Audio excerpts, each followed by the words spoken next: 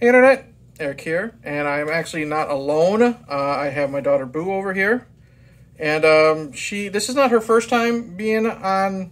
I guess you say camera or discussing something. She was with us when we did the Attack of the Crab Monsters video, Yeah.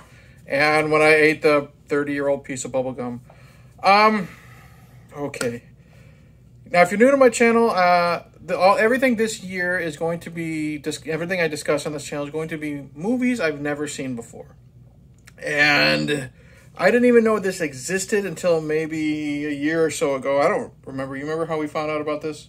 Uh, I think there was a nostalgia critic video on it. Okay, there might have been the nostalgia critic, and it's Mario related. My daughter is obsessed with Mario. She knows a lot about it, but not even she knew this existed. So we, I thought it would be funny to discuss this video and have her sit down and discuss it with me because, like I said, she knows she's the Mario expert. 1986's Japanese Super Mario Brothers the Great Mission to Rescue Princess Peach. Doesn't that look like garbage? All right, if you're new to my channel, welcome. I discuss plot spoilers, specific scenes, what have you. Okay, boo. Correct me if I'm wrong when the when if I get anything wrong. We're gonna really I don't know how we're gonna discuss this since you know I'm gonna make it easy for the boo, but the movie starts off and Mario is playing the Famicom, which is Nintendo before it was a Nintendo, right? Yeah, it was basically just the Japanese NES. Okay. So he's playing that. It looks like he's playing Earthbound because it looks like he's playing Ness, you know, and he's got the baseball bat and all that stuff. For some reason, uh, Luigi walks in, tells him to go to bed. Luigi leaves. And then for some reason, Princess Peach appears on the game, right? Yeah. And she's being chased by Bowser. And she literally jumps out of the TV screen. Yeah, um, and then all of the, like, the bad enemies, like, they just, and they make a mess of his house and come into the real world, and then they drag Mario in back into the game with them. Well, they drag Peach in there. Oh, yeah. So yeah, so what happens is, you know, Peach Peach jumps out of the TV because she can, I guess. Um, and then she is immediately followed by all the monsters like the Goombas and the Spinies and everybody. And then we see Bowser on the TV and he reaches his whole freaking hand out of there, pulls himself out, and he's got to be 10 feet tall. And chaos happens, like the boo says. He grabs uh, Peach, escapes back to the TV. And Luigi walks in. Mario tries to tell him what happens, and Luigi thinks Mario's crazy. Yeah. And then we he finds uh, Peach's necklace. Yeah, it, it, it randomly spawns out of nowhere in the middle of his house because it wasn't in his house before and it just immediately like spawned there. Yeah. So he picks up the, the necklace, shows it to Luigi, and then it's the next day. So now, the very next day, we find out that the Mario Brothers, who everyone knows are plumbers, are Our not. grocery workers. Yeah, they're grocery workers. They work at a grocery store, and they have this regular customer, this old lady who walks in, and you know Mario because he's so obsessed with what the necklace is, he messes up her order. Not funny. Luigi finds out about it. He happens to have a random book on the shelf that tells you what this uh, necklace is, and it says what the Mushroom Kingdom is. Even though that's like a video game universe. Right. And then so they decide, hey, because for some reason, we'll get to it. Luigi is so he's like uh, Scrooge McDuck. He's like so obsessed with being rich for something for some reason. I don't know why. He like every time they find gold coins, Luigi's probably there. And like in one moment of the movie there's a bunch of gold like gold coins everywhere. hmm And Luigi was the one picking them up and obsessing over them. Yeah, he was obsessed over it. Mario actually wanted to rescue the princess. Well, they find out what the the, the necklace is. I don't remember. Um, we watched this dubbed, so the the it's not the movie's fault, obviously, because you know they're originally speak, speaking Japanese. It's kind of hard to follow with the voices, and the voices are awful because Mario kind of talks like this, and Luigi he, he talks like this and stuff like that, and it's hard to follow and listen to him. Anyways, so they're talking about what it what the necklace is, and this weird blue dog caterpillar thing The dog pillar. we call him the dogapillar, comes into the grocery store, steals the uh, I keep calling it an amulet, the necklace, and runs away. They go chase him down a bunch of pipes. Like there's a bunch of pipes everywhere, And then they start disappearing. and then they start disappearing just for the heck of it. And then Mario and Luigi are transported into the Mushroom Kingdom, but they land in a cave with Mushroom God. who, who Boo is calling the Mushroom God. He is this really tall, long bearded, wizard looking dude. And he, I don't know if he says what the uh, the powers are of the necklace, but he does tell the, the story of the Mushroom Kingdom. Bowser invaded, turned all the the the toads, the mushroom people, into bricks. This is a, as weird as it sounds. That is in the actual instruction booklet of the first NES game. Um, and the Mario Brothers decide, hey, we're gonna go rescue Princess Peach, stop Bowser, and save the day. And for some reason, the dog pillar follows them. So now they're going from world to world, and they keep bumping into these two Goombas who have the most English and normal sounding voices out of everybody in this video or in this movie. And they keep trying to trick them, right? Do you remember the first thing they do? Um, they tell Luigi and Mario that they have like some food in like a cave or whatever, and they follow them to like it's full of mushrooms. That's right. because Luigi is a. First off, I hate Luigi in this movie. Boo will tell you I'm a huge Luigi supporter. I love Luigi. He's one of my favorite characters. I absolutely hate him in this because he's so money hungry. He doesn't care about anybody but himself. He's such a jerk. And he's also a whiny crybaby. And not like, you know, scared Luigi that we're used to. No, he's a whiny crybaby. I hate him in this. So they're, they they have a little campfire going and Luigi's hungry. He goes and finds some mushrooms and Mario finds him laughing because they're happy mushrooms, uh, if you know what I'm talking about.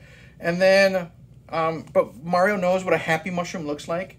So then Mar- Luigi what eats a sad mushroom, and he knows what a sad mushroom looks like. It's really freaking stupid. Um, I don't remember how they get out of that.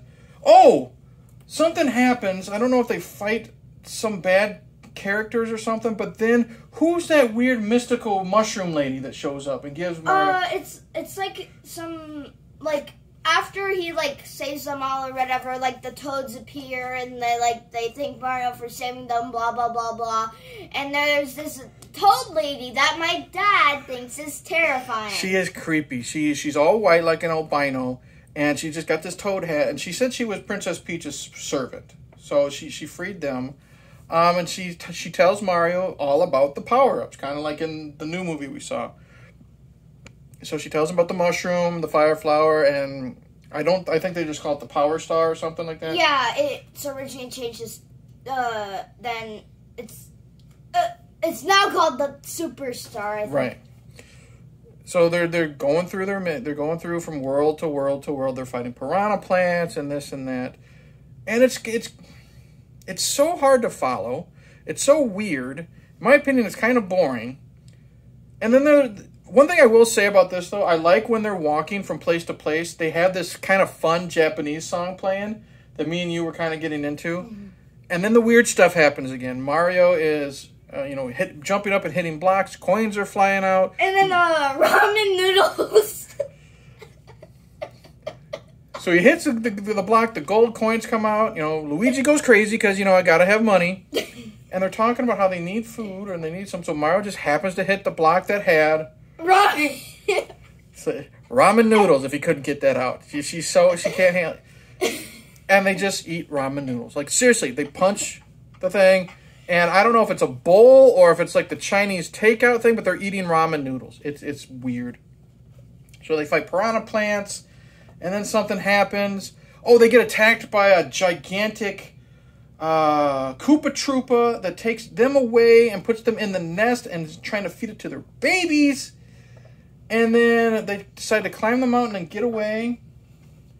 And then what happens? Oh, they find the, the star that Yeah. falls in the ocean. And then Mario has to go after it because he needs it for some reason. They haven't stated why. Right. Um, he dives into the water to go get it. Yeah. And I was yelling Mario's going to die before he even gets the star. Um, and what happens? Luigi doesn't even know what's going on because he's busy being upset because at the top of the mountain, he all his gold coins. He's got this big sack, and he finds out that it's an illusion. And what's inside of it, it looks like doorknobs. I don't I think it's like pine cones or something. pine cones or something stupid like that. So he's all depressed. He doesn't even try to save Mario, and Mario's drowning. Um, so Mario goes down. He battles bloopers and a weird Cheep Cheep that puffs up and up. You know, like like it inflates like a balloon and then it explodes, and all these millions of Cheep Cheeps come out. It, it's it's really weird. So eventually, Mario finds the star. They find this. Uh, Like sunken. No, wait. There's another thing that I need to. okay, go ahead. Um. Okay. So the star falls into a clam's mouth. Oh, that's right, the clam part. Okay, so Mario loses the star, and he's going around and around and around trying to find it. He's you know getting rid of the, getting rid of the bloopers that we call bloopy. He's getting away from the Cheep Cheeps, and he sees that the star is inside a clam. Okay. So, So- he tries and then. Oh, sorry. No, go ahead. Um. The clam's mouth shut. So and he tries to open it, but he can't. So he decides to distract the clam, and he dresses up as a ballerina, and the Dogapillar plays guitar. Yeah, so let's distract the clam and make it happy. He's like seriously ballerina Mario, doing the twirls and stuff like that. Dogapillar is playing an electric guitar underwater. He's got a star on his face like he's Paul Stanley, and it works. So they get the, the star. Now, we forgot to mention this. While all this is happening, Peach is being held captive by Bowser. Yeah. And Bowser is talking about how he's in love with Peach. He's going to marry her against his will. We all know the story because Bowser's always been in love with Peach. He's always wanted to marry her, type of thing. Um. So Bowser is basically an X-Man. He Yes. can transform.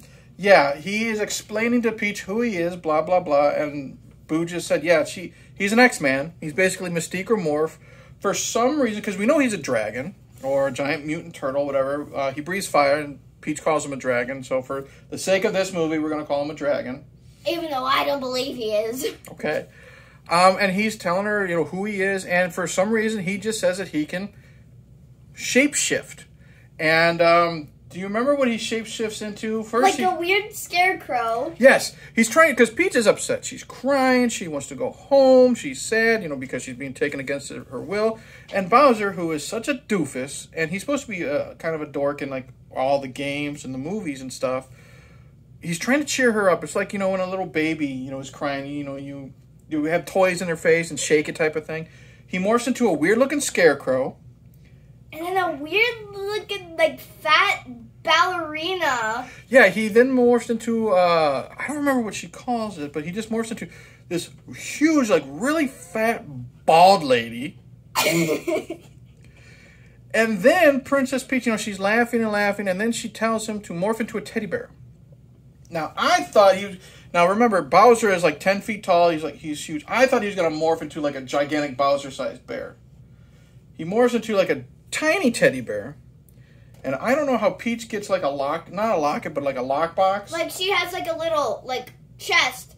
And since he's a tiny teddy bear, she can trap him in there. But he morphs the, the, like, the chest into himself. For some reason, he morphs the chest. Yeah, she locks him in. So he's inside. If he wants to morph, he should, anytime he morphs, he'll be what he turns into inside the chest. No, the chest itself morphs back into Bowser.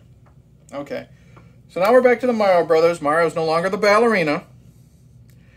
And they find this old pirate ship, this crashed pirate ship or whatever. right? Yeah. And um, because that's in that's in uh, '64.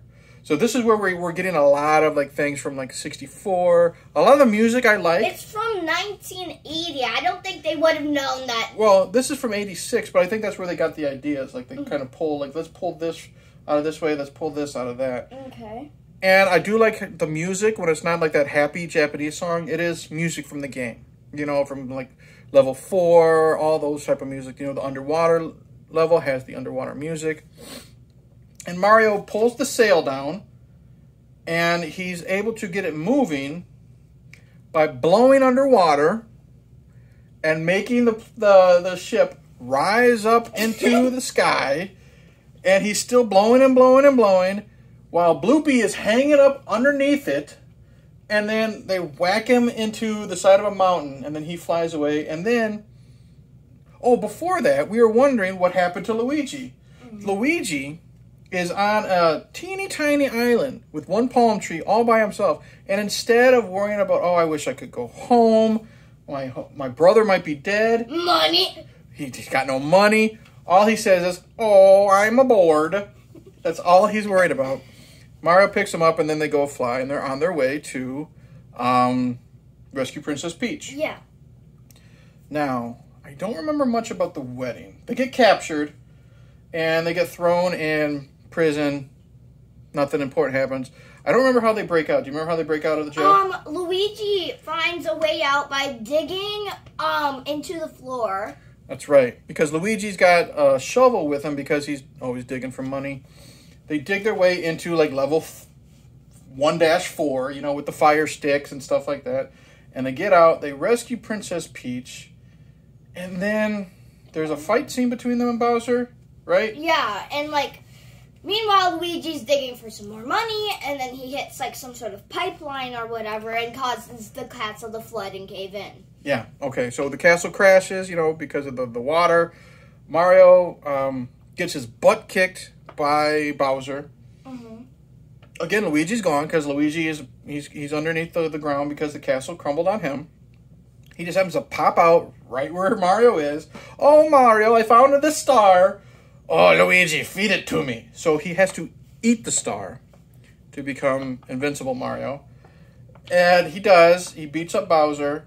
And it's the animation is insane. Like he keeps like rapid punching him Bowser in the stomach. And then he grabs him by his tail and whooshes him around and then flings him, which he explodes into a firework. Yeah. So which he which they actually do in some Mario games. Like if you kick Bowser off into the sky or whatever, there's a firework where you launched him. Okay. I know it's how you defeat him in Mario 64 because you got to grab him by the tail, spin him around, and throw him into some bombs. And that's that's how they defeat him in the new Mario Brothers movie too. Like remember they spin him around, they throw him. Yeah. But after he blows up into some fireworks, then we see him floating around with a balloon carrying him or something. He's like wi- wiping his tears and waving bye bye. It's stupid. So Bowser's defeated. the Dark World turns back into the Mushroom Kingdom. It's all looking pretty and everything.